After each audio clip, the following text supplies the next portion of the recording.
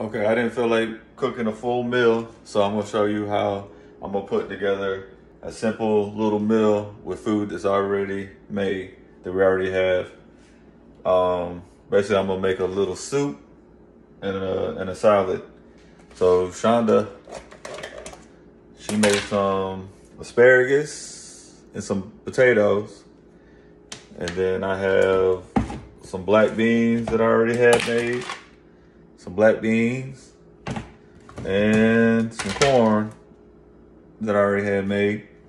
So basically with the potatoes and the black beans and the corn, I'm gonna season it and make a little soup out of that. And then I'm gonna make a salad with the asparagus. I got my soup going. Got all my seasonings in there, my hot sauce. And then I'm just heating up the asparagus. And I got my salad started. The salad dressing. My favorite part is the salad dressing.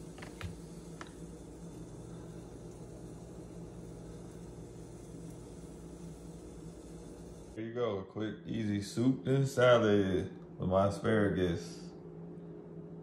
It's a quick, easy soup with just things that were already made at the house.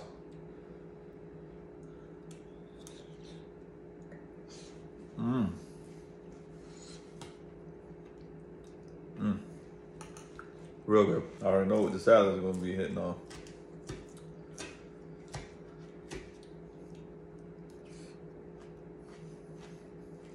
Mm. Can't go wrong. Well, I hope you enjoyed watching me cook up this quick little easy meal.